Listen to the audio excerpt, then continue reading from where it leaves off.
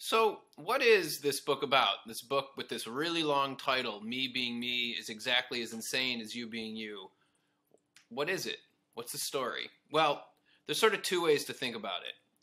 Way number one is that it's a story about the moment in your life when you realize that all the people that you thought were reliable or that you thought you knew exactly who they were uh, you realize that they're not that reliable or they're not who you thought they were and that people change and that things get out of control and that it might be up to you to figure out some way to deal with that.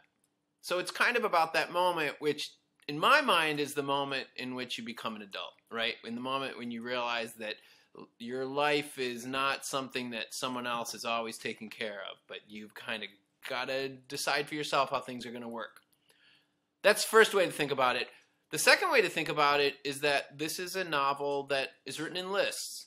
So, uh, this is a novel that is called contemporary realistic, which means that it doesn't have dragons or magicians. Uh, it's not a dystopian novel unless you think the way things are right now is dystopic. Um, but it's written in this unusual way, which is that instead of regular prose, it's all written in lists, so it kind of looks like this.